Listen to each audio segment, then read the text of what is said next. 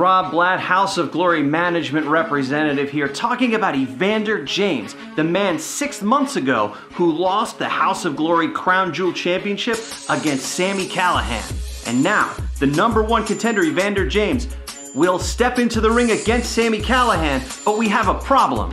The problem is, after winning that number one contendership, he went on to lose against Mantequilla. And then the next time he steps into a House of Glory ring, he loses the Vinny the Voice Battle Royal, getting eliminated by Mantequilla. So at Hog 8, December 15th at the NYC Arena, it's going to be Sami Callihan defending that Crown Jewel Championship against the man who is the number one contender, Evander James, but also against the man who helped House of Glory defeat the House of Gangone at Extreme Warfare, Mantequilla. So Matthew Ryan Shapiro, I hope you can trust in your man, Evander James.